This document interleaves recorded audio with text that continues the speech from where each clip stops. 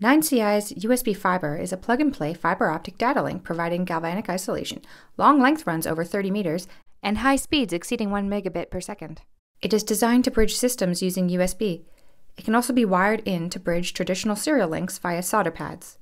USB Fiber is plug and play on Windows, Macintosh, and Linux computer systems. No driver install is necessary. USB Fiber plugs directly into USB Type A ports and is bus powered. Current draw is very low, permitting use on legacy and low power systems. USB fiber can be used for galvanic isolation of two devices, useful for systems like electric vehicles, can be used for long serial links where USB or RS-232 will not work, and can be used when higher speeds in electrically noisy environments are required.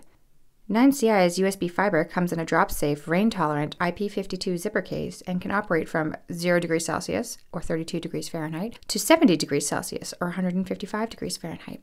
The units are designed, manufactured, and assembled by 9CI in North America. For more information, email david at 9ci.ca.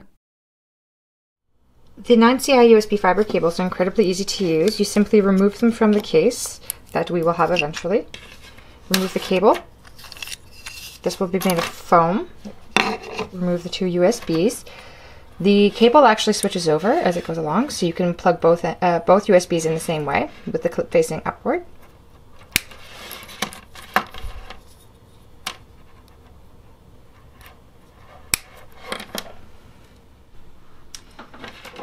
The cables can be plugged into either one or two laptops.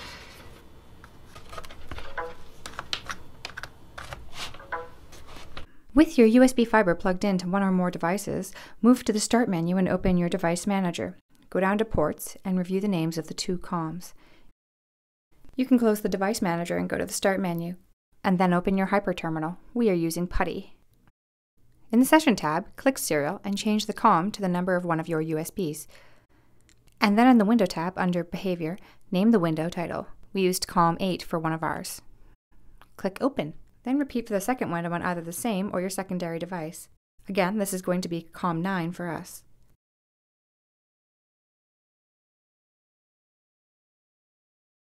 Click on the window you wish to be active and then you can begin typing. It will appear in the second window. Note nothing visible happens in the window in which you are typing. You can switch back and forth by highlighting the window you wish to actively type in and it will always appear in the second window. To stop, you can either unplug the device or close the window session. So the interesting thing about our micro USB fiber is that you can actually measure it with our optical frequency counter.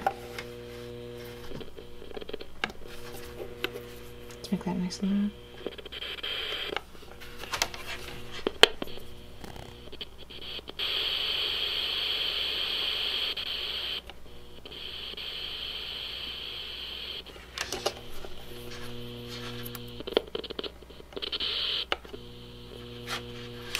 Clico é?